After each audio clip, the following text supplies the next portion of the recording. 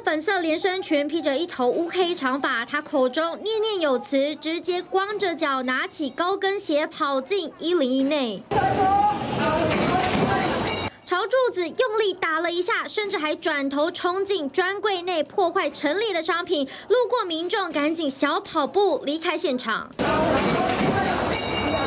专柜员工也吓坏，试图制止他的行为，结果反倒被伸手比来比去，还一度做出攻击举动。第一时间赶紧通知保全，警方到场，但他连话都讲不清楚，先强制送医。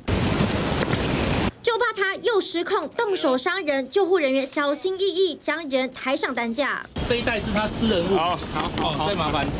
接到一半，突然情绪大失控，只当时发生的地点就在一零一大楼内附近，很多逛街民众吵闹声也吸引很多人围观，一不小心都有可能危及人身安全，造成恐慌。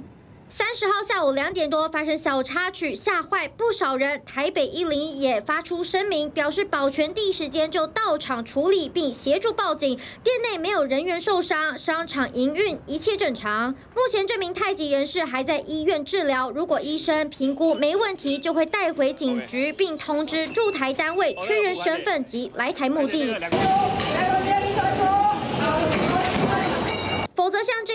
大暴走，又在人来人往的百货公司，若伤及无辜怎么办？TVB 新闻黄建广延伸们台北采访报道。想看最完整的新闻内容，记得下载 TVBS 新闻网 APP。